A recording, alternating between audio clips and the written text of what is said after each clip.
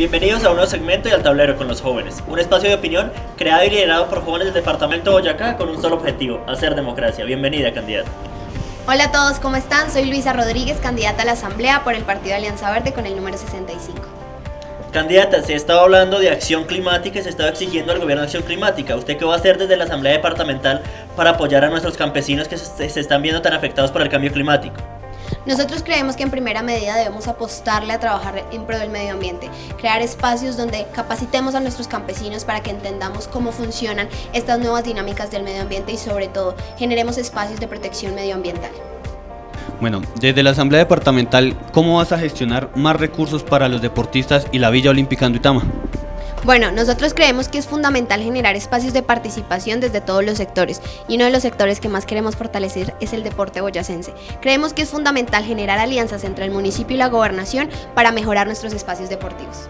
Bueno, candidata, para nosotros es gratificante ver una propuesta como la suya, joven, que universidad pública además, que demuestra que los jóvenes no somos una, una, generación violenta ni mucho menos sectaria. ¿Cómo ha sido este trabajo de recorrer los 123 municipios, las 13 provincias, de conectarse directamente con sus conciudadanos y de saber esas necesidades más apremiantes que desde la Asamblea obviamente sabremos que va a trabajar? Bien, en primera medida nosotros teníamos un trabajo desde hace mucho tiempo trabajando con las comunidades. Yo he tenido el privilegio de representar a mi municipio, al departamento y a Colombia en diferentes espacios de participación que me permitían de una u otra manera, antes de entrar en campaña, tener un conocimiento sobre lo que es Boyacá.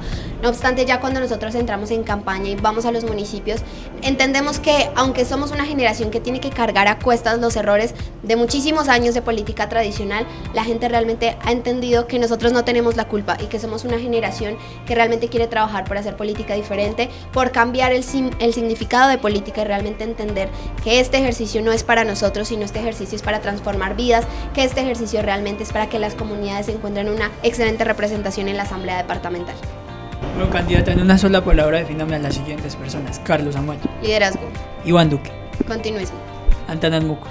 Sabiduría. Y Ramiro Barragán. Gobernador.